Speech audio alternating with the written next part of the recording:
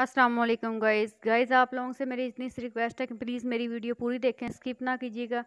आज की मेरी वीडियो उस कुत्ते के लिए, उस दल्ले बगैरत के लिए जिसने स्वीडन में हमारे कुरान पाक की बेहरमती की है, उस पर लानत, बेशुमार लानत। हमारा बस नहीं चल रहा, हम उसके जितने हमारे कुरान पाक में लफ्ज़ हैं एक एक लफ्ज़ के बदले उसके सौ सौ टुकड़े करें तो फिर भी उसके लिए सज़ा कम है। हमें बहुत दुख हुआ है कि उसने हमारे दो जहान के सरदार और हमारे आका सल्लल्लाहु अलैहि वसल्लम पे जो कुरान पाक नाजल हुआ है, उसकी बेहरमती की है।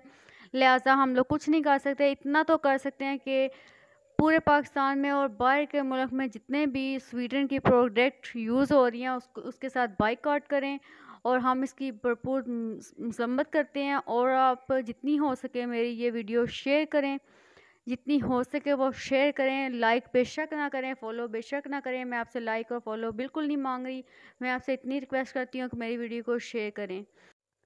आज तक हमारे मज़हब, हमारे इस्लाम में किसी भी मज़हब का बिल्कुल भी मज़ाक नहीं बनाया, किसी भी मज़हब की किताब या किसी भी मज़हब का मज़ाक बिल्कुल नहीं बनाया। कोई बंदा साबित करे कि हमारे इस्लाम में किसी मज़हब, हमारे इस्लाम में मुसलमानों ने किसी मज़हब का मज़ाक बनाया हो बिल्कुल भी नहीं। क्योंकि हमारा इस्लाम इस चीज़ की इजाज़त नहीं देता कि किसी के मज़हब का यह मज़ाक बनाए दे।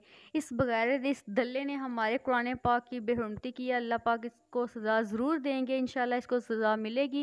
और हम इसकी भरपूर मसम्मत करते हैं। आप सबसे रिक्वेस्ट है कि मेरी वीडियो जितनी हो सके वो शेयर करें और इस दल्ले पे, इस बगैरत पे भरपूर लानत, बेशुमार लानत।